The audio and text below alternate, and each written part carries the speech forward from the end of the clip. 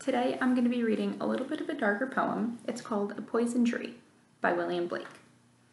I was angry with my friend, I told my wrath, my wrath did end. I was angry with my foe, I told it not, my wrath did grow. And I watered it in fears, night and morning with my tears, and I sunned it with smiles and with soft deceitful wiles.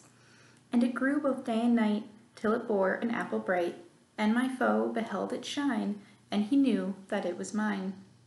And into my garden stole, when the night had veiled the pole. In the morning glad I see my foe outstretched beneath the tree.